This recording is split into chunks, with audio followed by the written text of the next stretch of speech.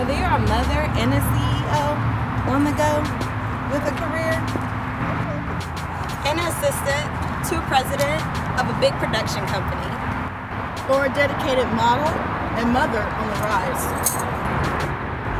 or hairstylist and makeup artist in popular demand. Or if you're the owner of the fabulous new hottest glam lash line, Queen's Glam Lashes. We always wear our fabulous glam lashes. So you're with our busy lives.